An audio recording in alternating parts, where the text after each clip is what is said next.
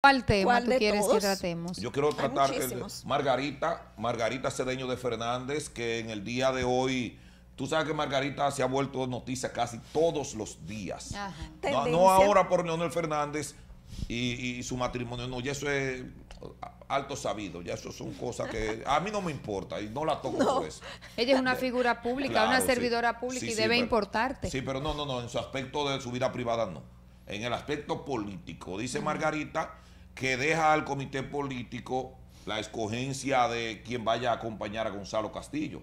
Porque en el día de hoy aparecieron como seis figuras, Uno- incluyéndola a ella, Unas, unas seis. que han sido supuestamente evaluadas. Que dentro de esas figuras está nuestro alcalde, Abel Está Abel Martínez, Martínez. Eh, eh, Navarro. Navarro. está. Andrés Navarro, Abel Martínez, Domínguez Brito. Domínguez Brito, Hay una persona que no la conozco. Lizardo, Pedro Brache, está Pedro Brache, ese es un empresario, y está también Margarita Cedeño de. Fernández. Ellos Esos sé, seis como posibles fueron, candidatos. fueron evaluados, dicen que el círculo del penco Está evaluando. está A evaluando. ver cuál es el que tiene. ¿Cuál, su- cuál suma? Sí. ¿Cuál suma? Porque, óigame, tiene la emergencia Debe, puesta, debe- el hombre, el hombre no debe de tener un gran peso en todos los sentidos. Un La gran persona, empuje, un la persona, claro, claro. y- y- la persona y- que vaya a acompañar a Gonzalo Castillo debe de tener Un héroe o una conexión muy grande con el No, pueblo me- me- dominicano Que de los- para que cuando pueda. usted hizo así, ¿Qué?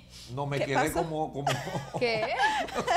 como en el aire. Que de esos posibles candidatos que están Sí. ahí, eh, eh, tenemos a, a Abel Martínez y a Margarita que tienen una gran popularidad. Y un o sea, y tienen perfiles. Yo entiendo que esas dos personas serían las ideales para poder ocupar ese. Uno de ellos dos. Claro, Uno para mí, ellos. eh, para mí en lo personal sí, pero esto es debido a la relación que han tenido con el pueblo dominicano, Abel Martínez por haber ocupado la presidencia de la Cámara de Diputados y también por la gran labor que ha realizado en el municipio de Santiago como alcalde. Por, tú Igual sabes que Margarita Cedeño él en siendo presidente de la Cámara de Diputados trascendió bastante Claro. porque Sí, sí, sí. Y hemos tenido posicionó. presidentes del- de la Cámara Baja que tú ni los recuerdas, que tú ni por sabes. desapercibidos. Ahí está Maldo- Rubén Maldonado, ahí está la hermana de Danilo, Lucía Yomaira Medina. Mochila. Ni se menciona. Medina, esa ni se menciona, esa pasó No. sin pena ni un año allí, óigame, Sí. no se supo una sola de las cosas que se aprobaron ahí durante su gestión.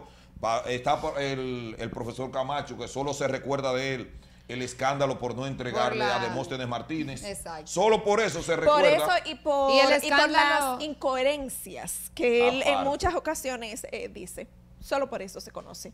Y por otra campañita que le hicieron también, ¿Cuál otra campañita? No recuerdo. la de Camacho, ¿no te recuerdas? ¿Cuál sería? La, La del del Play, Play. que Ah. generó Ya, ya. tendencia en las redes sociales por varios días. Y, y también la, la de la declaración jurada.